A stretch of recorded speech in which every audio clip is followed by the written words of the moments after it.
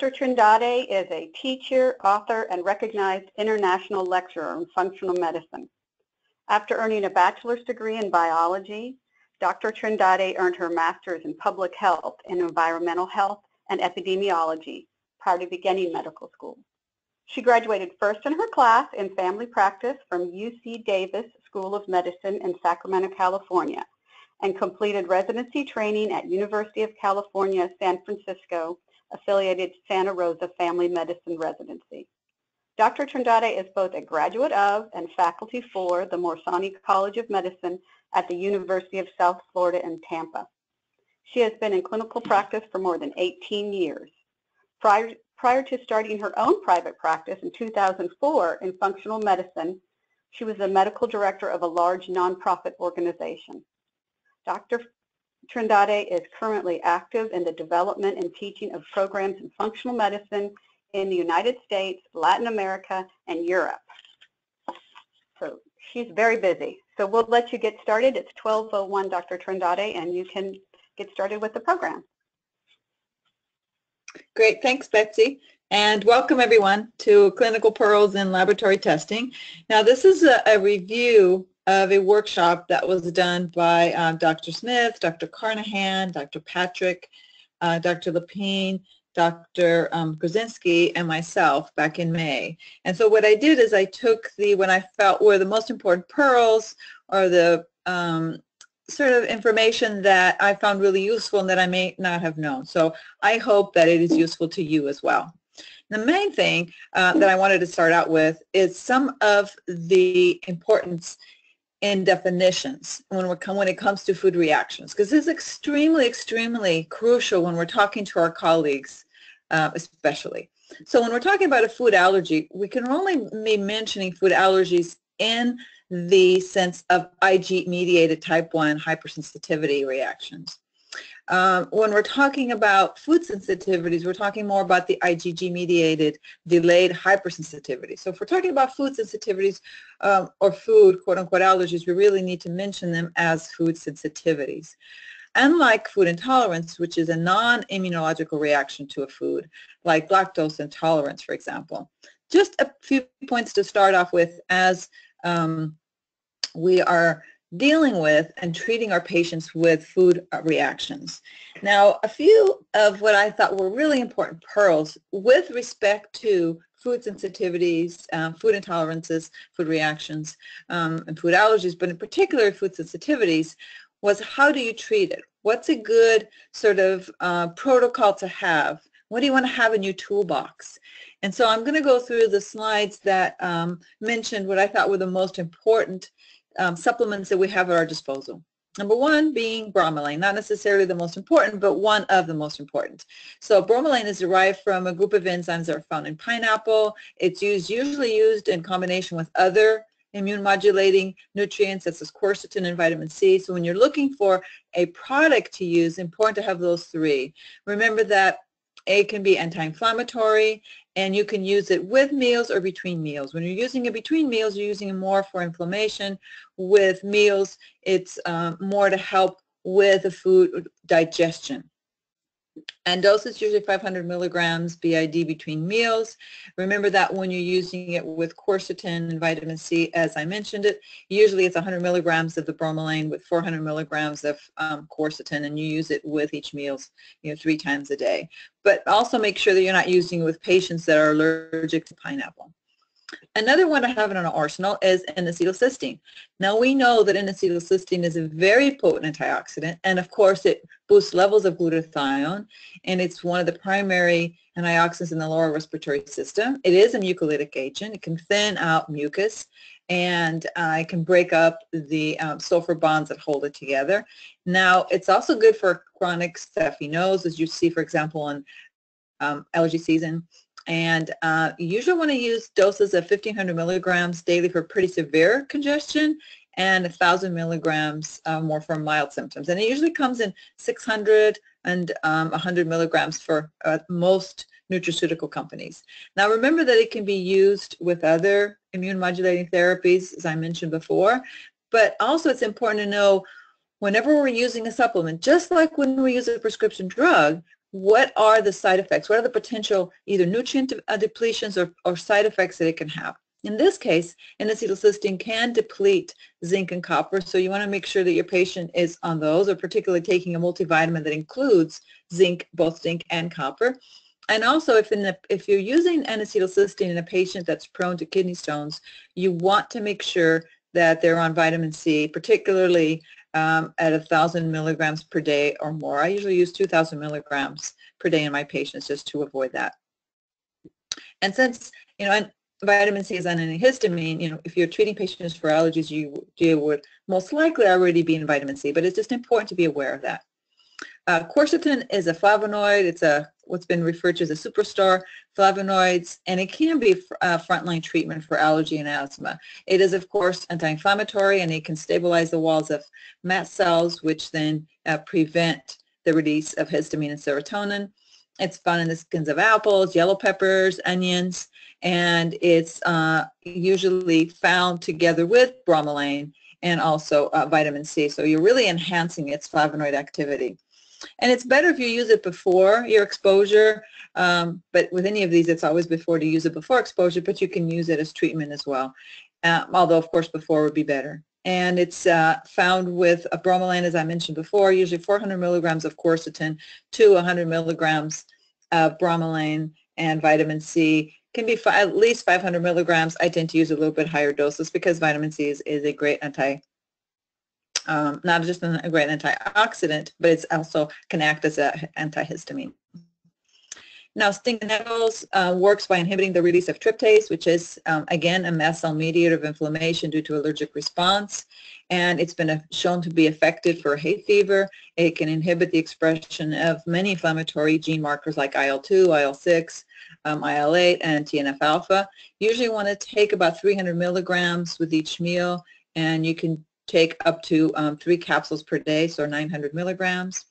Now it's important to know that it is a, a diuretic and so it can increase the elimination of potassium from the body. So you may need to supplement with potassium and make sure patients are eating potassium-rich foods. Particularly, you want to be aware of this if patients are on prescription drugs, which may already affect potassium levels.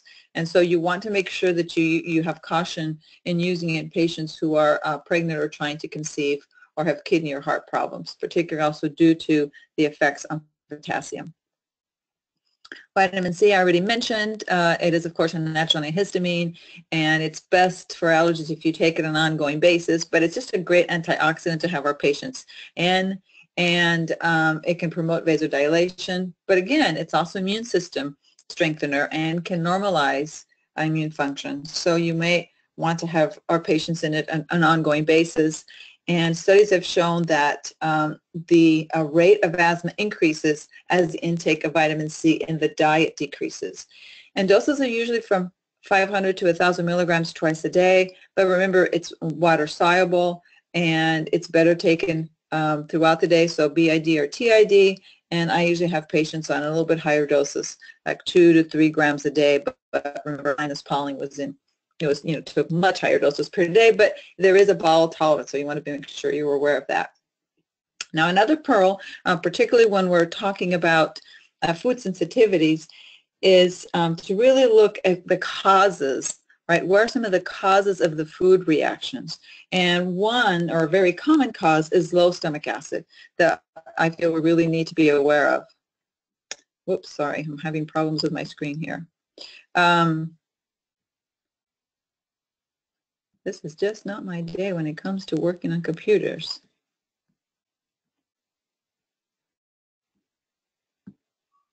Okay, so uh, now with hypochlorhydria, of course, you still want to find the root cause, but but you want to consider it in patients with allergies or food sensitivities uh, because, of course, it's going to uh, affect your uh, your potential for developing a food sensitivity as well as a food allergy. So always consider that in your patients that are presenting uh, with food sensitivities. Now, you still have to find the root cause of why the patient became hypochlorhydric. And one very common in the United States is the abundant use of PPIs, right? Proton pump inhibitors, unfortunately. And uh, realize that also changes in the gut microbiome can do that. But using PPIs in itself can also uh, change the gut microbiome. But you want to consider low HCl on any conditions, uh, particularly in small intestinal bacterial overgrowth, um, and you want to work to try and find out if the food allergies that you're seeing are a consequence of the low stomach acid or if they have contributed to it. So just remember to consider um, hypochlorhydria in your patients with allergies and particular food allergies and food sensitivities.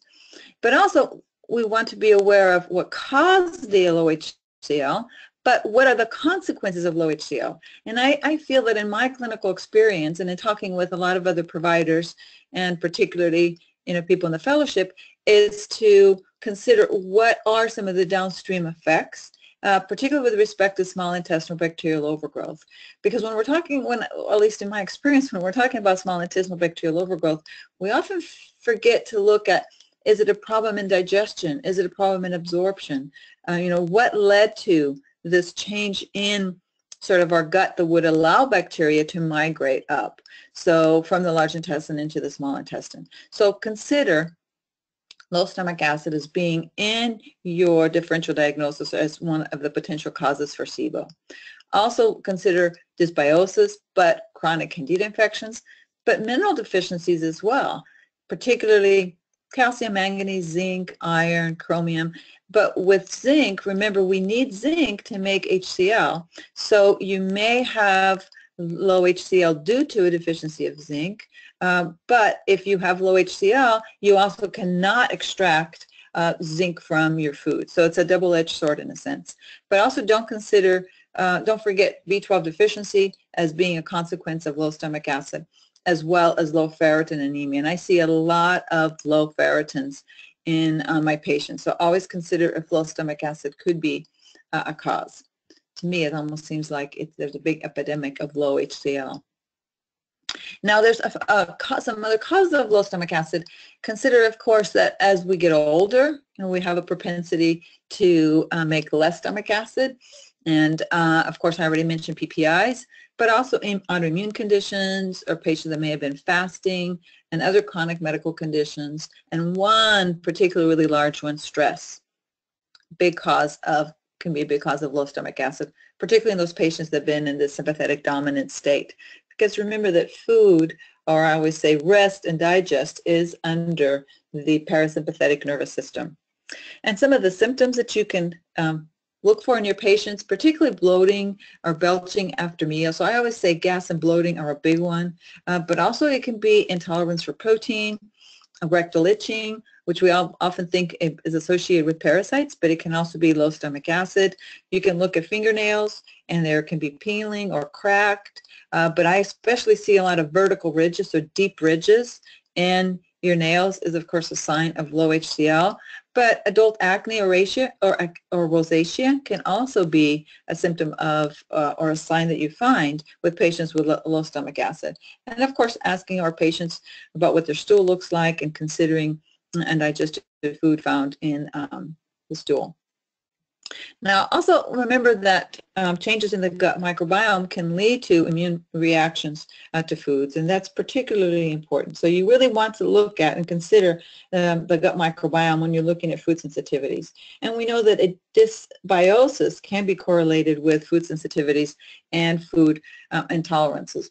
But also realize that um, many of the uh, probiotic strains that we have um, to alleviate food allergy really resides in their ability to modify food antigens, but also to repair gut barrier function and balance, you know, or a altered microbiome, as well as restore, you know, some, some local and systemic immune regulation. So extremely important to consider the gut microbiome.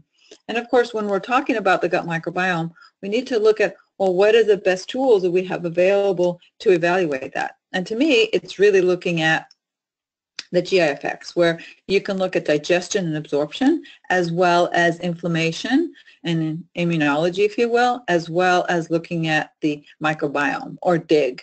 Um, it's a great sort of um, way to consider when uh, we're looking at the potential uh, benefits of doing a GI uh, effects because there's a lot that we can do. Uh, there's a lot of information that we can glean from it, and some sometimes even very small changes in the GI effects um, can give you a lot of information of what's going on with that particular patient.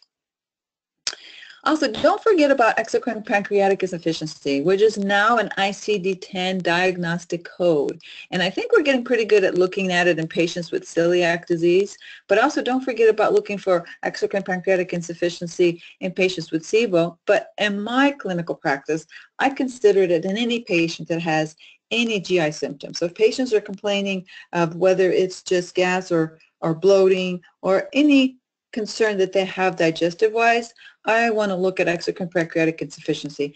And of course, you get your pancreatic elastase from the GI effect, so you get an idea of what's going on with the exocrine pancreatic function.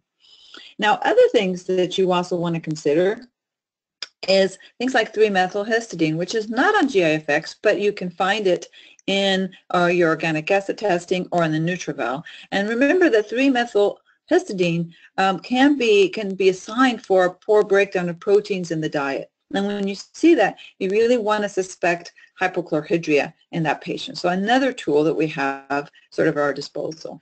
And I cannot say enough about the NutrEval because I feel that there's so much information that we can glean from it that we then take to our patient and really try and figure out how it uh, sort of coincides with the symptoms that our patients came in with as well as our findings on our physical exam. So remember that you get organic acids, you get amino acids, you get your fatty acids in the RBC, you get oxidative stress markers, and of course you can also add your nutrient and toxic elements, your vitamin D, as well as some genomic markers. Now remember that when it comes to um, digestion, there's a few other things that you can also look at. Um, I had mentioned already your um, 3-methyl um, histidine, but you can also get an idea of 1-methyl histidine, although it's not as good a marker for low HCl because it is found in meat eaters. But you can also look at anisine, I'm sorry, anserine, carnosine, and uh, beta-alanine. And for example, if you see an increased beta-alanine, um, it may be an independent marker of abnormal gut fermentation. So if you're doing both the GI effects as well as a NutrEval, you can really put that information together and do a lot in assessing your patient and developing a treatment protocol. But if you're just doing organic acids, you can also get an idea of what's going on in the gut. Now, when it comes to anserine and carnosine, if they're elevated, especially when you have low or uh, low normal amino acids, it can be a sign of incomplete uh, digestive proteolysis or, or a proteolysis, sorry, or a leaky gut. So it's important that you consider all these different markers that we can then put together and really um, help our patients. Now, I put this slide in because I think I often forget just how amino acids uh, how important they are in the health of our patient and how patients can present with so many different symptoms that are associated with amino, amino acid deficiencies. So to me, it's really important that you look at that. And of course, you get the amino acids in your um.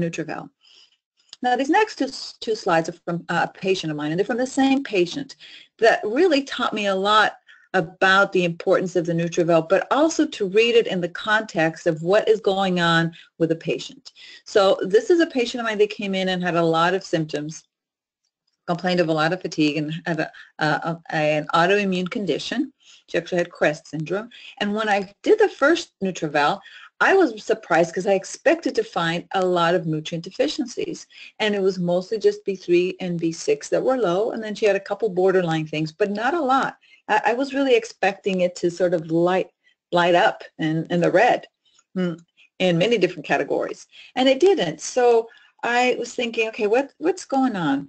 But in any case, there were a few things there. She also had some low amino acids. There's a quite a bit going on digestive wise. So I fixed that and was working with her. And then three to four months later, I repeated the NutrEval. And this taught me an extremely important clinical pearl that I wanted to to share with you because this next slide is that same patient after three and a half, actually it was four months after the initial NutrEval.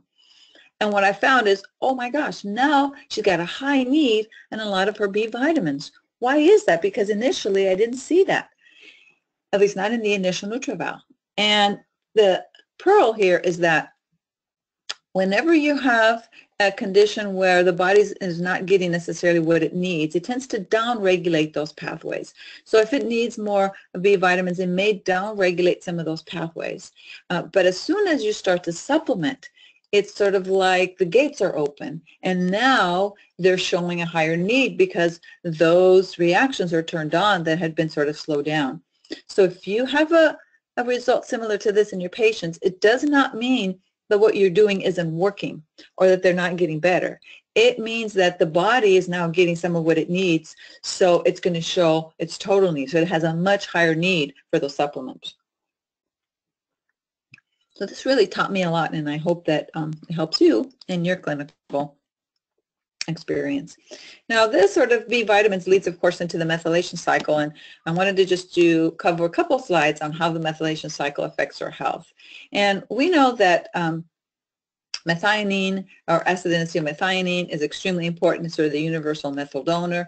But I think methionine sometimes gets a little bit uh, forgotten. And that's extremely important uh, because it is not only a precursor for acetylmethionine, uh, but it can, it's also important of mRNA, and it's a lipotropic, which I actually didn't know initially. So it's, it's really important that you consider that, but also realize that when you're looking at the methylation pathway, it's, um, you want to look at just having the right level. So too little is not good, but also too much can increase your levels of oxidative stress. And methylation can affect many um, health conditions cardiovascular disease, autoimmune disease, gut disorders, but osteoporosis is one that I actually wasn't aware of, so that high or elevated homocysteine correlates with increased risk of fracture as well as osteopenia. Now, I think with respect to the neurodegenerative conditions and cognitive decline and mood disorders, we're a little bit more sort of aware of that, but I think it's, it's really important to realize just how important in general methylation is and that you know there's many um, health conditions that can affect the methylation cycle, uh, such as someone who's had a traumatic brain injury, where you can see um, decrease in plasma methionine as well as acetylmethionine, but also like a tissue-proven non-alcoholic um, steatohepatitis also can affect you know the methylation cycle, as well as alcoholic liver disease. You know, chronic uh, alcohol exposure can induce CYP 2E1 enzymes and increase your oxidative uh, stress and your reactive oxygen species. So really important to realize that uh, methylation is involved in a lot of different reactions, but there's also some health conditions that affect the methylation cycle. Sort of goes both ways. Now, in terms of the methylation cycle and really looking at your uh, the enzyme function, I think it's important that we also consider that there's a lot of different things that can affect the enzymes. So it can be affected by single nucleotide polymorphisms, right, as we all know, particularly, for example, the 677T in folate metabolism, but also nutritional status, that most of those pathways require cofactors that we may not um, initially be aware of or that may not be uh, sort of in the meth- stated in a methylation cycle if you're looking at a schematic, for example, but as well as a lot of toxic exposures uh, that we're faced from our environments that alter reactive uh, or oxidative reactive species, but are also inflammation. So extremely, extremely important. And of course, there's also fat uh, metabolic feedback loops that can affect it. Now, we can't sort of talk about the methylation cycle without also looking at uh, toxins as well as our ability to detoxify, which I think is becoming more and more um, sort of affected by this um, polluted environment, you know, that we live in. So I thought that this was an extremely um, sort of eye-opening um, paper that was talking about the, that the family practice doctor will see illnesses that are related to environmental exposure to toxic metals in about two out of five patients in their practice.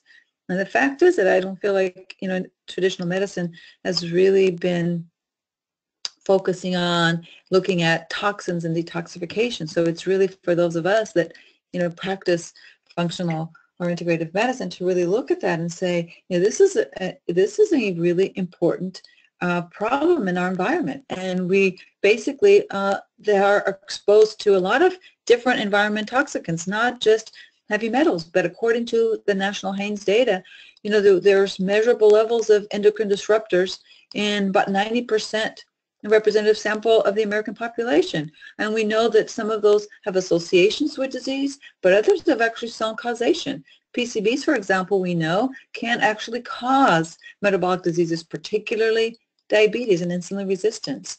And so we've talked, heard a lot about bisphenol A, for example, but there's also a lot of phthalates, and there's other bisphenols that are extremely important, um, not just in you know, the area of heavy metals, because these are toxins that have long half-lives, and so they are persistent, and they bioaccumulate. They can live in our tissues as well as in our, in our environment for many, many years. So really having a good detoxification protocol is important.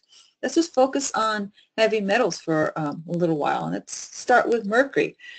You know, why is it so toxic? I, I, you know, I've often asked this question. Well, it's because it can penetrate in many different, you know, of our organs, particularly the brain, and it can be stored in the kidneys and it can also bind very tightly to our sulfhydryl groups. And it's hard to chelate because if you're already in this toxic, toxic milieu where we may have lower glutathione levels, it's much harder for our body to chelate it. And we need to have high glutathione levels. But also because we have sulfation and methylation slips, so it makes it a little bit more difficult to chelate. And you need to have really healthy glomerular function, which can be damaged by other heavy metals, such as cadmium and lead. And we also need to have really good general antioxidant support, like vitamin C, for example. Now, this is something that I've thought I've um, believed for a long time, and I still um, have difficulty interacting with some of my colleagues that uh, don't are not aware of sort of the literature, but the fact that amalgam-related mercury exposure exceeds that from fish or other sources for the majority of the population. So extremely important when we do a physical exam, we look for amalgams and we discuss uh, with our patients if they have amalgam fillings and need to get them removed, then we need to prepare them, you know, for the removal. But the fact that this vapor outgassing for amalgam fillings is at a rate of 2 to 28 micrograms per facet surface per day, and 80% of that is absorbed through the GI tract, to me that's really scary. And it really uh, sort of signifies the importance of educating our patients. So this means that we really need to be looking at the toxic load of our patients or toxicant load. And this is one of the reasons why I love the core effects profile uh, because, or the toxic core effects profile, because it really helps us figure out exactly what is the total toxic load you know, of our patients because we can look at the organophosphates, the bisphenol A, your phthalates, as, as well as your chlorine and your PCBs, because we know that these have been associated with many different types of conditions or diseases, from cardiometabolic syndrome to obesity to diabetes to infertility, you know, to low testosterone. You know, more and more I'm seeing younger men with low testosterone levels. And the solution isn't to replace testosterone, to start off with. It's really to look at the underlying reason why. You know, when you see a 30-year-old with low testosterone, you want to try and figure out why. And then most likely they're toxic and we need to develop a detoxification program for them. And so how do we do that? How do we detoxify and eliminate and eliminate toxic metals? Well, I think we really have to first, you know, decrease exposure and then really support detoxification and excretion and really work with a lot of the intermediates or the cofactors that are needed for both phase one and phase two detoxification of the liver. And then I think sometimes we forget that there's vitamins that serve as cofactors in both phase one and phase two. I think we all realize that phase one is an oxidation reaction and phase two is more conjugation, but uh, where I think we fall short, and myself included, is in all the cofactors are needed, such as zinc and selenium and vitamin A, D, E, K, and vitamin C for phase one, for example, as well as many of the B vitamins and amino acids for phase two. So extremely important. I feel like with respect to B, vitamins that they're really needed and no matter what phase of detoxification surgery you're talking about. But also to look at the gut and realize that we detoxify a lot through the gut. And so we really need to normalize what's going on in the gut. Use the 5R uh, treatment program, for example, and look at what's going on in the microbiome. But also don't forget about the bile and the fact that a lot of things can be enterohepatically recirculated. So they can go from the gut to the bile and back, and they can also be stored in the bile. And so I think that it's really important that we start sort of with a natural detoxification even before we do a pharmaceutical one, starting off with food and how and avoidance and how much can we include in terms of supplements um, with our patients. But to me, sort of food and increasing antioxidants is foundation. And then you add your other support for both phase one and phase two with uh, pharmaceuticals. Now, I think that we are in a sort of time uh, in the world, and I see this throughout cultures and throughout countries, where everybody has this sort of morbid fear of germs, this melismophobia. And um, I recently had an experience where my father was hospitalized and he was in the ICU, and the nurses or um, the any worker, but particularly the nurses, as soon as they would get ready to walk into his room, they would use these hand sanitizers instead of, you know, washing your hands. And the fact is that hand sanitizers are toxic in of themselves. Um, Triclosan, for example, is found in hand sanitizers as well as antimicrobial soaps and a lot of deodorant and, and detergents. But, you know, we need to realize that sometimes what we're trying to sort of avoid or uh, treat is sometimes part of the poison. So it's really important that we're aware of that. And triclosan now we know is an endocrine disruptor, just like bisphenol A, and it can have immune suppressive effects. So we need to be aware of that because for a long time there was sort of a, a controversy whether or not um, triclosan was really dangerous, and indeed it is. And also, too, we need to consider what are some of the associations, if not um, sort of downstream effects of some of our other toxins, particularly pesticides, which have been, you know, associated with increased risk of asthma as well as eczema, and that it can decrease our natural killer, natural killer cell function, uh, whether you're talking about, you know, organophosphates or carbamates. So just really important that we realize that there is literature out there that supports this. And when it comes to detoxification, one thing that I have not mentioned is the importance of amino acids. I talked about it a little bit, excuse me, with respect to phase two and the fact that it's a conjugation reaction. But um, aside from being a conjugation reaction, it also uses amino acids. So if our patients are not properly digesting their food and breaking it down into amino acids, that can be a major problem. So it's another part of the NutrEval that I feel is really important to look at is at our levels of amino acids and making sure that they're adequate. And if you suspect, you know, uh, that the deficiency in your patient is more recent, you might want to do the amino acids in the urine, whereas if it's longer, you may want to do in the plasma. I tend to do both. But another one extremely important for detoxification is the B vitamins, which I already mentioned. But also be aware that deficiency of certain B vitamins increases the toxicity of some of these toxins. So for example, B1 deficiency can increase the toxicity of PCBs. And I already mentioned PCBs uh, uh, can are associated with many different metabolic diseases, but they can actually cause insulin resistance and diabetes. And, B, and also B1 deficiency is associated with um, inducing CYP1A1 and 1A2. Uh, which is extremely important when we're talking about estrogen metabolism, which I'll deal with towards the end of my talk. And dieldrin toxicity increases the need um, or, or, the toxicity is increased in patients that are deficient in riboflavin. So really we want to look at all the B vitamins and consider them when you're doing a good detoxification protocol. But vitamin A, for example, and carotenoids are extremely um, important because they can uh, be decreased by organophosphates. And so I, I've recently been patients for vitamin A and I find deficiencies. So it's a look for the reason behind root cause or causes and could this be a toxin? Because I find more and more uh, with my patients, a lot of the um, symptoms that they're having are really due to different toxins. And in many cases, or I'd say in most cases, it's more than one. And so you have to sort of be aware of that. Now, switching gears, one other thing that I wanted to mention um, that I just have a couple slides on is on Lyme disease. And Lyme disease is really the great mimicker. And it, the one thing that from this conference in Lyme disease is that it is a great imitation. Patients are not getting better and you've sort of already developed a treatment protocol and you're not really getting the results that you expect, particularly in our extremely fatigued patients. Don't forget to consider Lyme disease uh, and that that could be one of the problems. But also, the other pearl that I wanted to mention is the co-infections, which are extremely important in Lyme disease. So although Lyme disease is a great imitator, it also is usually present with a lot of co-infections. And these are organisms that are very common in patients with Lyme disease, and it may, it's a major cause of treatment failure um, if the infections are not recognized. And these can be bacterial co-infections like Mycoplasma, Bartonella, Rickettsia, Tularemia, Brucella, but they can also be fungal, such as Candida.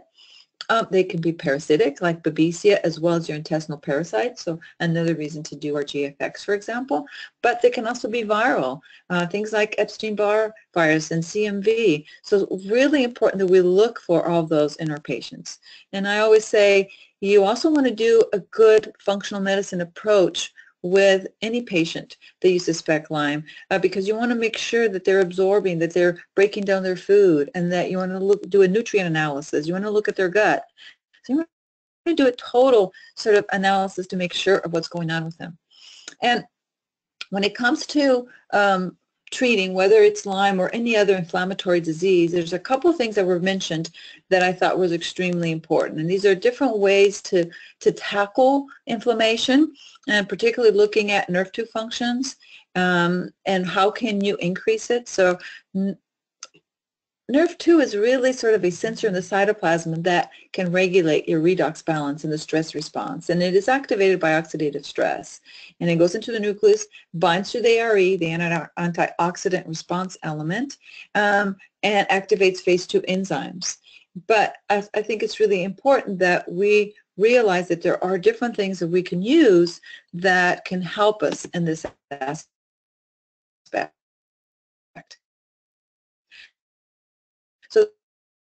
There's some nerve 2 activators, and these are all things you're all already aware of. Things like curcumin and sulforaphane and resveratrol and green tea, or the real, really the EGCG in green tea. And so I think it's really important that we start off with food and we include this in our diet.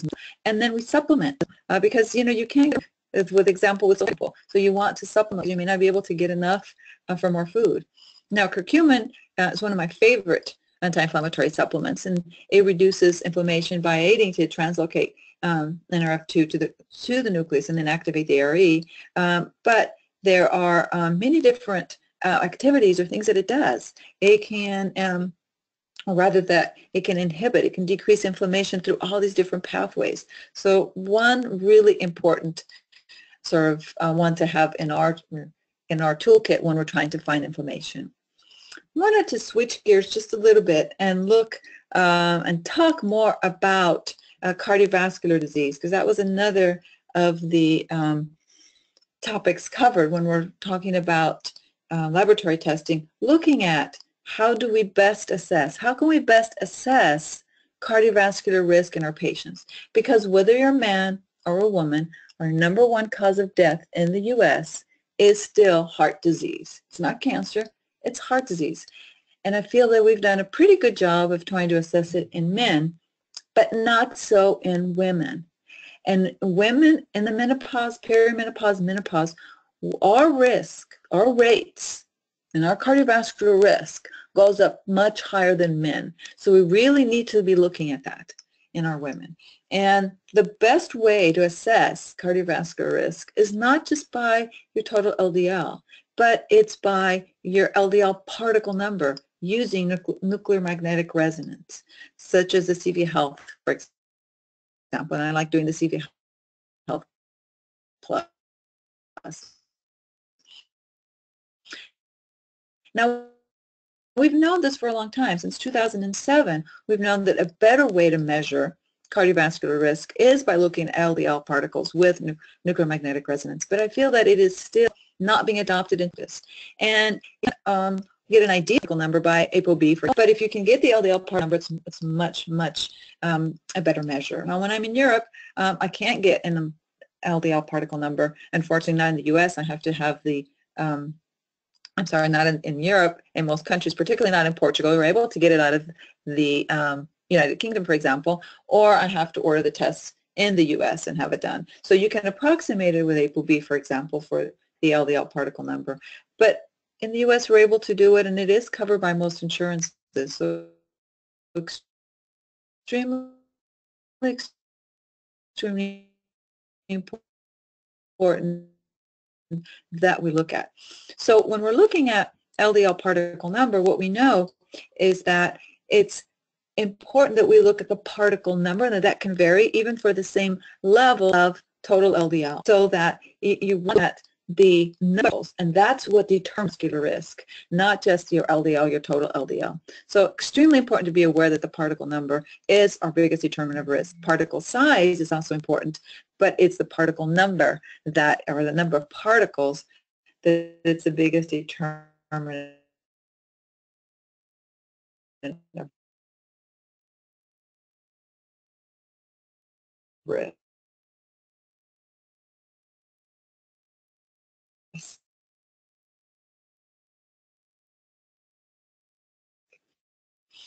And so let's just review a couple studies, um, particularly on women, uh, because we know the women with discordant LDL measures, we are really underestimating um, our rates of cardiovascular disease. We don't want to just use LDL, total LDL. We want to be the LDL particle number because you can have a low LDL total and a very high LDL. Number. That's what they mean by discordant.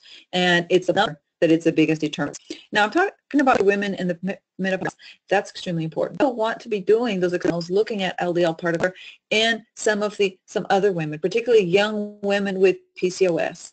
Now this is a consistent statement by the Androgen Excess and the Polycystic Ovarian Syndrome Society that says that we really need to be looking at LDL particle number in order to assess risk in our patients. And so if we have a patient with, PCCO, with PCOS, we want to be doing the expanded panels earlier rather than later. And this is just an example of what one looks like. And let me just tell you a little bit about this patient. Um, this is a uh, 40 year old a patient on a very low uh, fat diet who can, uh, was high or low.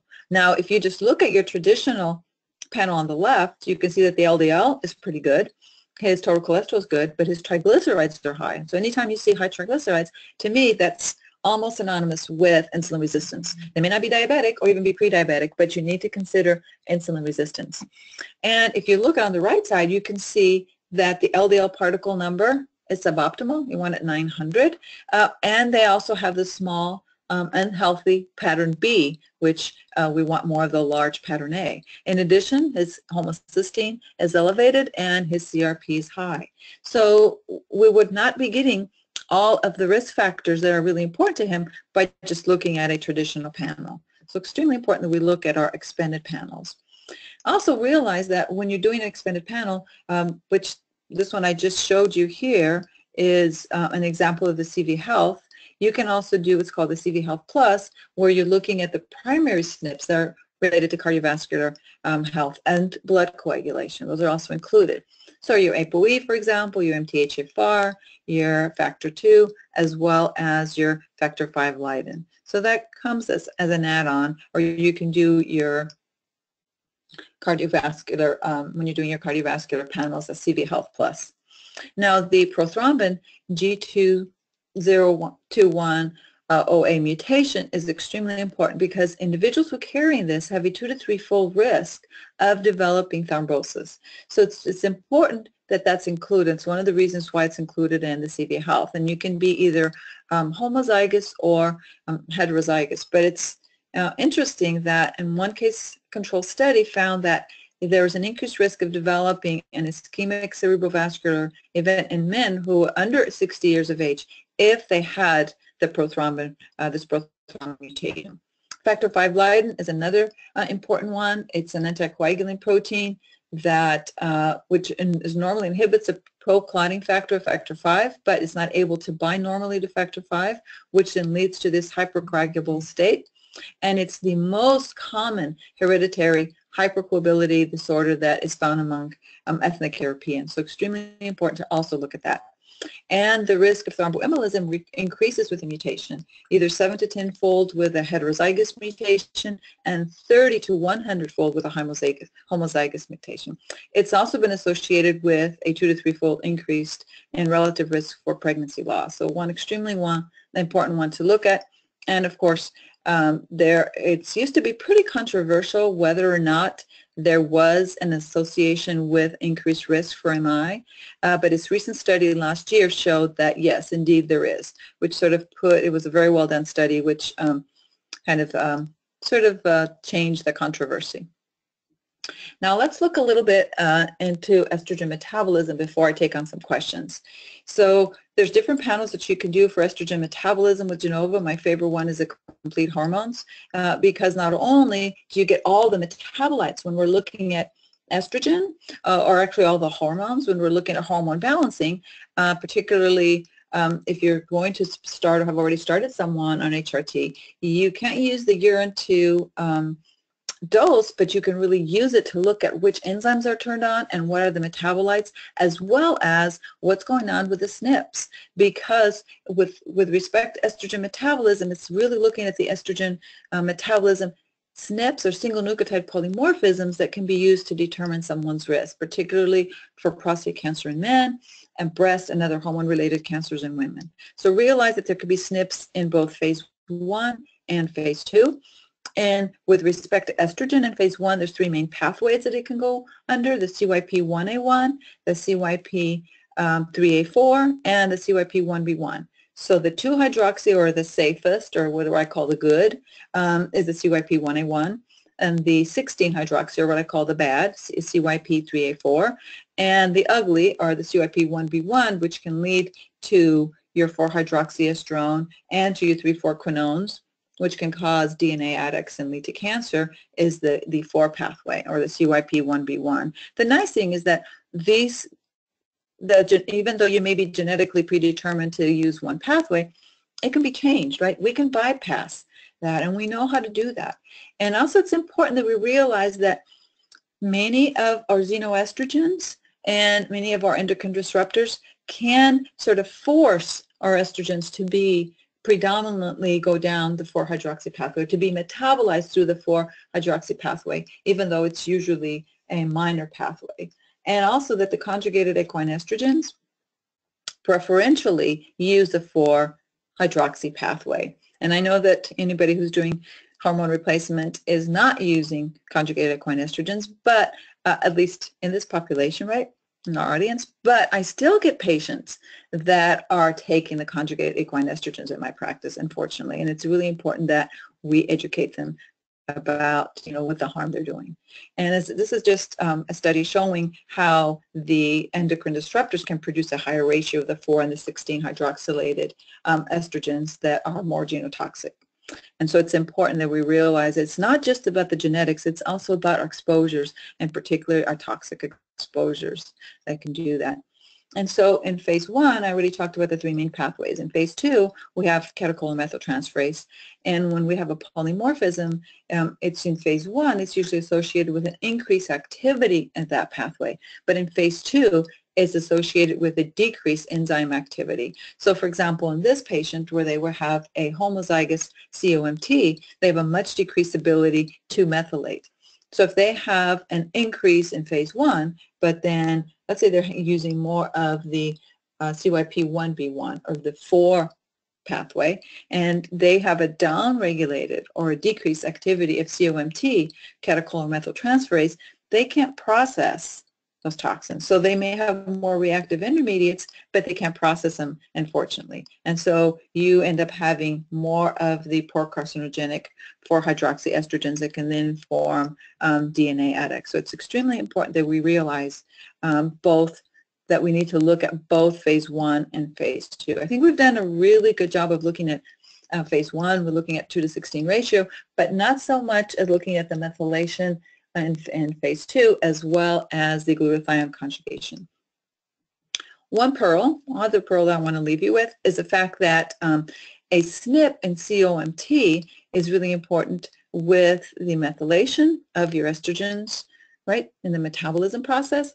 However, it is also what breaks down catecholamines. And so if you have a SNP and COMT, you have an impaired clearance of those catecholamines. And those are those patients that are more nervous, they're anxiety, um, they're anxious, they um, have more increased sensitivity to pain, and they may not be, because they may not be able to clear their um, catecholamines or the neurotransmitters. So it's really important that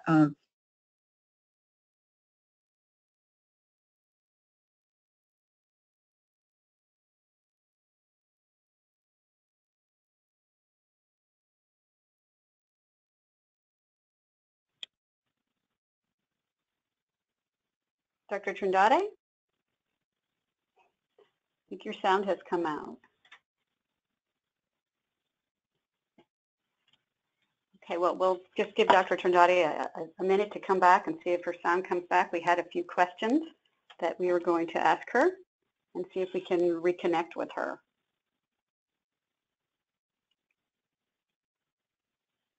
And we apologize that the sound has had some issues, um, but we kept going on, and I think we, we all appreciate that for um, the, the information that Dr. Trindade has been able to give us. I don't know that Dr. Trindade is going to be able to make it back on. We do have the questions, and um, we have information. We can answer those um, and try to reach you back with those answers.